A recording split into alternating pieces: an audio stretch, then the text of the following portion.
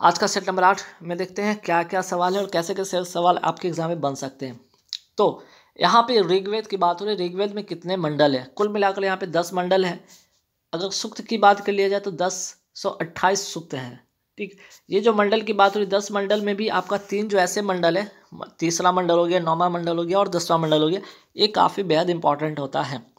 पहले देखिए, गायत्री मंत्र का अगर मैं वर्णन की बात करूँ तो ऋग्वेद के तीसरे मंडल में, जैसा कि मैंने अभी बताया था, तीसरे मंडल में कौन है? ऋग्वेद का वर्णन है। वही गायत्री मंत्र को किसको समर्पित है? गायत्री मंत्र जो है, भगवान सूर्य को समर्पित है या सावित्री, जिसको कहते हैं। भगवान सोम को जो समर्पित मंडल है, ठीक है, भगवान सोम को समर्पित मंडल कौन है? ऋग्वेद का नौमा मंडल। ये नौमा जो मंडल है, आपका ऋग्वेद का जो है, यहाँ पे सोम जो है, सोम, भगवान सोम को समर्पित है, ऋग्वेद का नौमा मंडल। फिर बात कर रहे हैं पुरुष सूक्त की मैं बात करूँ पुरुष सूक्त का वर्णन किस मंडल में किया गया है? तो ऋग्वेद के दसवें मंडल में किया गया है। यही वो दसवां मंडल तो मैंने मंडल तीन मंडल के बारे में मैंने बताया। तो कुल मिलाकर दस मंडल है। जो तीसरा है, आपका नौमा है और दसवां। ये तीन ज़रूर याद रखिएगा। जो आपका दसवां मंडल है, इसी में चार वर्णों का उल्लेख पहली बार इसमें किया गया है। जैसे कि आपका ब्राह्मण हो गया, क्षत्रिय हो गया वैश्य हो गया, शूद्र हो गया, ठीक है? चलिए नेक्स्ट सवाल पे आते हैं। होत्री। ये होत्री कहते किसको है? ऋग्वेद के जो ऋषाओं को पढ़ने वाले ऋषि होते थे, उनको कहा जाता था होत्री। ठीक? वही अगन्या किसको कहा जाता था? तो ऋग्वेद में गाय को कहा जाता था अगन्या कर्मकांड, अनुष्ठान या मंत्र, या ये जो है, मंत्र या यज्ञ करने वाले वेद को कहा जाता था अजुर्वेद। भारतीय संगीत का जनक किस वेद को कहा जाता है? शामवेद को कहा जाता है। अंधविश्वास तथा जादू टोना वाले वेद को क्या कहा जाता कौन सा वेद में शामिल है? अंधविश्वास और जादू टोना आपके अथर्ववेद में शामिल है। आगे बढ़ते त्रिवेद। आपको पता है, चार वेद है, लेकिन अगर बात कर लिया जाए, त्रिवेद में कौन कौन वेद शामिल है? ऋग्वेद, अजुर्वेद और सामवेद। ये तीन जो है, आपके त्रिवेद में शामिल हैं। प्रजा प्रजापति की दो पुत्रियाँ का नाम क्या है? सभा और समिति। प्रजापति की दो पुत्रियाँ कहलाती थी। जवाल उपनिषद जवाल उपनिषद में कितने वर, आश्रमों का उल्लेख किया गया? चार आश्रम का इसमें उल्लेख है। मुंडक उपनिषद, जो सत्यमेव जयते जो शब्द है ना, ये कहाँ से लिया गया है? आपका मुंडक उपनिषद से लिया गया है। इतरय जो शब्द है, ठीक है इतरय किस वेद का? ब्राह्मण ग्रंथ है तो याद रखिए ऋग वेद का है। वही सत्यपथ की मैं बात करूँ, सतपथ किस वेद का ब्राह्मण ग्रंथ है? सतपथ हो गया अजुर्वेद। गोपथ किस वेद का ब्राह्मण ग्रंथ है? अथर्ववेद का। एक ऐसा वेद जो गद और पद दोनों में है, वह है अजुर्वेद। तो एक तो सतपथ जो वेद हो गया, वो आपका अजुर्वेद से संबंधित है। और गद एवं पद दोनों वाला जो वेद है, वो क्या है आपका? अजुर्वेद। शिक्षा, कल्प, निरुक्त, व्याकरण, छंद और ज्योतिष, ये जो छः है छः के छः ये क्या है आपके? ये छः के छः हैं आपके वेदांग। तो वेदांगों की संख्या कितनी हो गई? छः हो गए। मेगासनिस किसके दरबार में भारत आया था? चंद्रगुप्त मौर्य के दरबार में आता है। और इंडिका जो पुस्तिका है, इसी के द्वारा लिखी गई थी। किसके द्वारा? मेगासनिस के द्वारा लिखी गई थी। सवाल अगर आपसे पूछ जाए, बताइए मेगासनिस जो था, किसका राजदूत था? तो सेलुकस निकेटर का ये राजदूत था। अगर सवाल पूछ जाए कि चीनी यात्री हिंसांग किसके दरबार में भारत आया था? तो हर्षवर्धन, ठीक है? ह से हिंसांग और ह से हर्षवर्धन दोनों याद रखिएगा। और हिंसांग की एक जो यात्रा वृत्तांत है, जो अपने पुस्तक में लिखा था, उसका नाम है सु ई की, जो कि यात्रा वृत्तांत है। किसकी लिखी पुस्तक है? हिंसांग की है। तो इसने अपने जो अपना यात्रा वृत्तांत है, वो सु ई की में ही लिखा था। किताब उल हिंद किसकी लिखी पुस्तक है? अल बरूनी की लिखी पुस्तक है। अगर सवाल पूछ जाए कि अल बरूनी भारत किसके साथ आया था? महमूद गजनबी के साथ भारत आता है। वही सवाल अगर आपसे पूछ है कि रहेला, किसकी लिखी पुस्तक थी? इवन बतूता की लिखी पुस्तक थी, ये भी आपको नोट करके रखना है। नेक्स्ट सिंधु सभ्यता की खोज किसने किया था? दयाराम साहनी के द्वारा किया गया था उन्नीस सौ इक्कीस में। नेक्स्ट सवाल पे आते हैं काश युगिन सभ्यता, या जिसे आद ऐतिहासिक कालीन सभ्यता कहते हैं। इसका उदाहरण है, सिंधु और हड़प्पा सभ्यता। ये कैसी सभ्यता थी? आपकी काश युगिन सभ्यता थी या आद ऐतिहासिक कालीन सभ्यता थी। सवाल अगर आपसे पूछ लिया जाए, बताइए सिंधु घाटी सभ्यता का प्रसार कहाँ से कहाँ तक था? अगर यहाँ पे अगर देख लिया जाए, नॉर्थ, साउथ हो गया, ईस्ट और वेस्ट हो गया तो पूरब से पश्चिम, पूरब से पश्चिम की अगर मैं बात करूँ तो पूरब की ओर क्या था? आलिम गिरपुर, ठीक है? वहीं पश्चिम की ओर क्या था? सुतकाट डोर, ठीक है? तो पूर्व से पश्चिम में अगर देखा जाए तो पूर्व की ओर था आलिमगिरपुर और पश्चिम की ओर था सुतकाक डोर। उत्तर से दक्षिण। उत्तर से दक्षिण की बात कर ली जाए मांडा से लेकर मांडा उत्तर में और दक्षिण में आपका देमाबाद। ठीक है? तो सवाल आपका ये भी आएगा कि ठीक है मांडा जो है किस नदी के किनारे स्थित है? चेनाब नदी के किनारे स्थित है। वहीं देमाबाद जो है किस नदी के किनारे है? गोदावरी नदी के किनारे स्थित है। आलमगिर। आलमगीरपुर जो है किस नदी के किनारे स्थित था? हिंडन नदी। कहाँ? उत्तर प्रदेश। सूत। कागडोर किस नदी के किनारे स्थित है? दास नदी के किनारे स्थित था। लोथल का बड़ा नाम सुना होगा आपने कि लोथल क्या था? तो एक बंदरगाह था, गुजरात में यह है। ठीक, सिद्धू, सभ्यता का एक लोथल जो था, वो जगह था, वो था क्या आपका बंदरगाह था? कालीबंगा, ये वही जगह है जहाँ पे जूते हुए खेत का क्या मिला है? प्रमाण मिला है है कहाँ? राजस्थान में।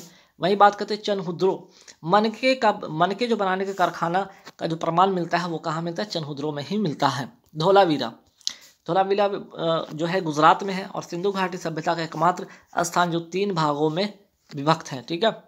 बात करते हैं मोहनजोद्रो मोहनजोद्रो कहाँ है? पाकिस्तान क्षेत्र में है। इसके बारे में दो तीन बातें और इंपॉर्टेंट जैसे इसे मृतों का टीला कहा जाता है, पहला फैक्ट है। दूसरा, इसके खोजकर्ता कौन थे? रसखाल दास बनर्जी।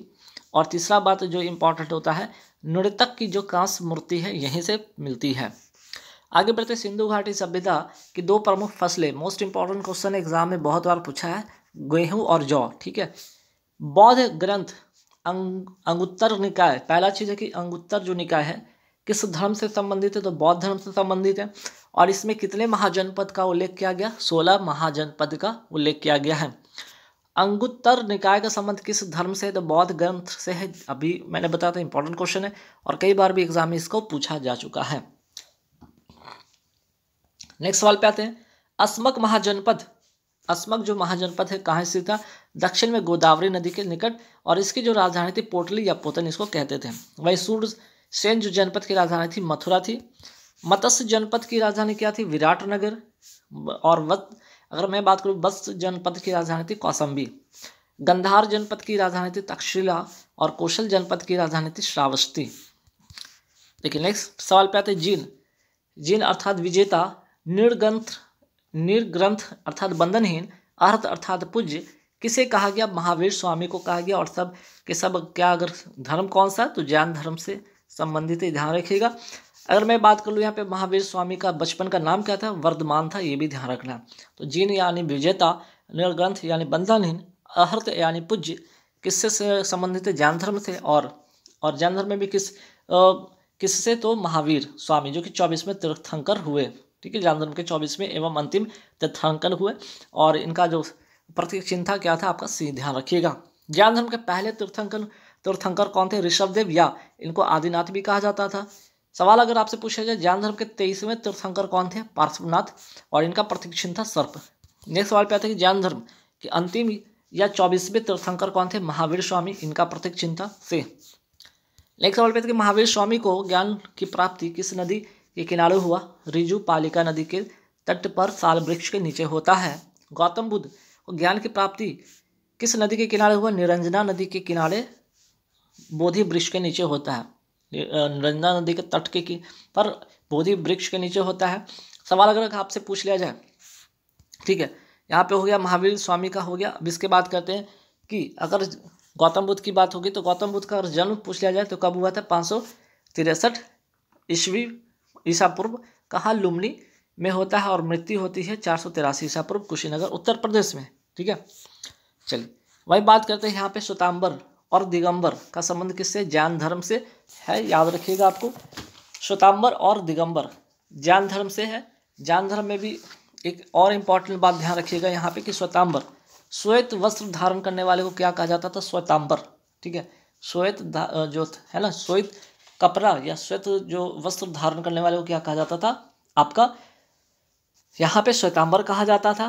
वहीं अगर मैं बात करूँ, ठीक है, वहीं मैं बात करूँ यहाँ पे, किसके अनु, जो अनुयायी होते थे इस जो, इस धर्म से रिलेटेड थे या इस जो श्वेतांबर वाले मीन्स कि श्वेतांबर जो अलग से इनका जो भाग में बटा था, ठीक है, श्वेतांबर और दिगंबर तो स्थूल भद्र के अनुनायी कहलाए श्वेतांबर। वही बात करते हैं दिगंबर, नग्न रहने वाले और भद्र बाहु के अनुनायी जो थे, आपके क्या थे? दिगंबर कहलाते थे। ज्ञान धर्म की अगर मैं बात कर लूँ, ज्ञान धर्म के त्रिरत्न कौन थे? सम्यक दर्शन, सम्यक ज्ञान और सम्यक चरित्र, ठीक है? नेक्स्ट सवाल पे आते हैं। ज्ञान धर्म के पाँच महाव्रत महाव्रत क्या था? सत्यवचन, अहिंसा अस्त्य अपरि, अपरिग्रह एवं ब्रह्मचर्य तो ये ये जो चार है, ठीक है, ये जो चार हैं आपके सत्यवचन, अहिंसा, असत्य असत्य और आपके अपरिग्रह। महाव्रत किसने दिया? परशुनाथ ने दिया था। वही ब्रह्मचर्य जो ब्रह्म महाव्रत किसने दिया था? महावीर स्वामी ने दिया था। ठीक है? और आपसे सवाल यहाँ पे आ जाए, महावीर स्वामी, अगर इसकी बात कर ले, इनकी बात कर लें, जन्म। इनका जन्म कब होता है? पहले तो ये याद रखिएगा 540 ईसा पूर्व।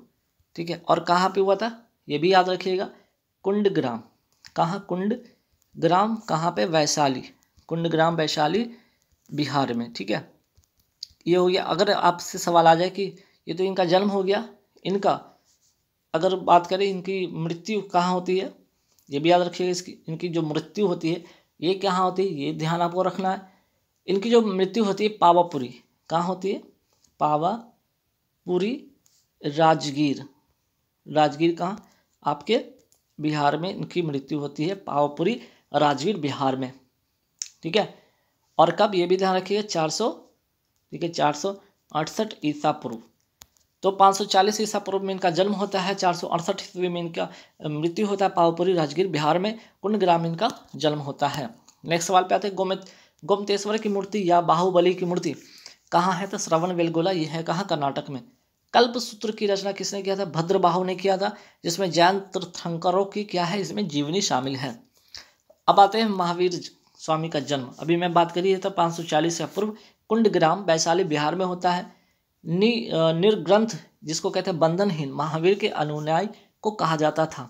तो सवाल अगर आ जाए, निर्ग्रंथ किस धर्म से संबंधित है, जैन धर्म से संबंधित है? महावीर स्वामी का मृत्यु कहाँ या था, निर्वाण का हुआ था, कहाँ हुआ था तो चार सौ अड़सठ ईसा पूर्व पावापुरी राजगीर बिहार में होता है। बात करें तराइन का युद्ध।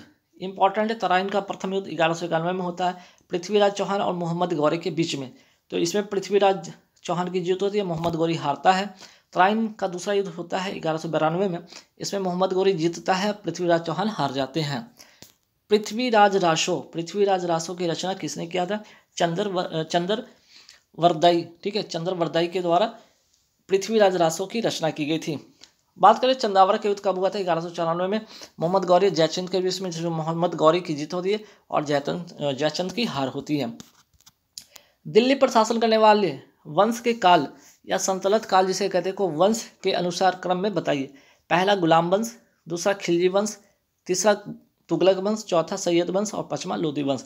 तो गुल खिले तो सास लो, ऐसा ट्रिक पर भी आप इसे याद रख सकते हैं। लाख बक्स या लाखों का दान देने वाला किसे कहा जाता था? कुतुबुद्दीन ऐबक को। ढाई दिन का झोपड़ा किसने बनवाया था? कुतुबुद्दीन ऐबक ने बनवाया था। कहाँ? अजमेर, राजस्थान और संस्कृत विद्यालय को तोड़वाकर। कुतुबुद्दीन कुतुब मीनार का निर्माण किसने करवाया था? कुतुबुद्दीन ऐबक ने करवाया था। पहला सवाल। सवाल ऐसे आपको पूछेगा कि बताइए, कुतुबुद्दीन का जो निर्माण कार्य पूरा किसने करवाया? निर्माण कार्य तो शुरू जो हुआ था वो करवाया था कुतुबुद्दीन ऐबक। लेकिन निर्माण कार्य को पूरा किसने करवाया था? इल्तुतमिश।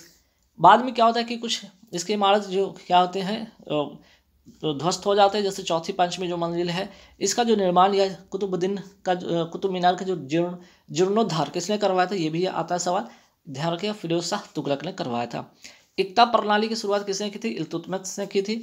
तुर्कान चहल गानी चालीस गुलाम सरदारों का संगठन की शुरुआत किसने किया था? इल्तुतमिश ने किया था और बलबन ने इसे समाप्त किया था। दिल्ली पर शासन करने वाली पहली महिला मुस्लिम शासिका थी रजिया बेगम और इनकी जो मृत्यु होती है रजिया बेगम की, कहाँ होती है? केथर हरियाणा में। सिजदा और पैगोस मोस्ट इंपॉर्टेंट क्वेश्चन है, ठीक है? सिजदा और पैगोस प्रथा किसने शुरू किया था? बलबन ने किया था। और बलबन की एक और नीति ध्यान रखिएगा, लौह एवं रक्त की नीति किसकी थी? अपनाने वाला जो शासक था वो था बलबन। बात करें विजयनगर साम्राज्य की स्थापना कब और किसने किया था? तेरह में हरेर और बुक्का के ये दो भाइयों ने किया था। वही बात करते हैं कि पचास रुपये के नोट। बात अगर करें यहाँ पे पचास रुपये नोट पर किसका चित्र अंकित है? हम्पी। ठीक है? तो यहाँ पे बात हो रही थी कर्नाटक। यहाँ पे हरियर एवं बुक्का ये हो गया, तेरह सौ छत्तीस हो गया। और चलिए हाँ तो पचास रुपये के नोट पर किसका चित्र अंकित है? हम्पी का करना है? कहाँ है? कर्नाटक में। सौ रुपये के नोट पर किसका चित्र अंकित है? रानी की बाप कहाँ है? गुजरात में। दो सौ रुपये के नोट पर किसका चित्र अंकित है? चा सांची का स्तूप, यह का मध्य प्रदेश में। और पाँच सौ रुपये के जो नोट है, पाँच सौ रुपये के नोट पर किसका चित्र अंकित है? दिल्ली का लाल किला। अष्ट दिग्गज किसके दरबार में थे? तो कृष्ण देव राय के दरबार में थे अष्ट दिग्गज ध्यान रखिएगा। और अष्ट एक प्रधान भी होता है, वो शिवाजी के दरबार में थे। तो अगर पूछ लिया कि कृष्ण देव राय कौन से वंश से संबंधित थे तालुकात रखते थे तुलु वंश से किस, सबसे प्रतापी राजा हुए? और इनकी एक बहुत ही फ़ेमस ग्रंथ थी, जिसका नाम था आमुक्त मालिदा तो इन्हीं की पुस्तक है किसकी किसकी ग्रंथ है? कृष्णदेव राय की जो है, इनकी ग्रंथ थी। मनु चरितम किसने लिखा था? अलसानी, ठीक है, अलसानी पद्य ने लिखा था, और इन्हें तेलुगु साहित्य का पितामह कहा जाता है, अलसानी पदेन को पांडुरंग महामात्य किसने लिखा था? तेनाली कृष्ण, रामकृष्ण ने लिखा था। फारसी राजदूत जो था, अब्दुल रजाक किसके दरबार में आया? तो देवराय द्वितीय के दरबार में आता है और देवराय द्वितीय विजयनगर साम्राज्य के शासक थे। रंजीत सिंह का संबंध किस मिशन से था? तो सुरचकिया मिशल से था, ठीक है मिशल रंजीत सिंह का संबंध किस मिसल से था? तो सुरचकिया मिसल से था, ध्यान रखना आपको। विठल स्वामी मंदिर का निर्माण किसने करवाया था? कृष्ण देवराय ने करवाया था। और अभी मैंने जैसा बताया कि तिरुवंश के ये प्रतापी राजा थे। तालीकोटा, या जिसको राक्षस तांगरे भी कहा जाता है, या बनी हट्टी का युद्ध। कब हुआ था? पंद्रह में हुआ था और इसी समय विजय नगर साम्राज्य का पतन हो गया। रज नामा किसका? फारसी अनुवाद है, महाभारत का है और अकबर के दरबार में इसकी अनुवाद होती है। और लास्ट सवाल है, सुरसेन जनपद की राजधानी क्या थी? मथुरा थी। जो सोलह जनपद था, उसका आप सोलह जनपद की जितने भी राजधानी है, वो ज़रूर याद रखिएगा, क्योंकि यहाँ से एक सवाल आपके आते हैं एग्ज़ाम में। तो गाइज़ यहाँ पूरे के पूरे सौ मैंने क्वेश्चन करा दिए। वीडियो कैसे लगे कमेंट करके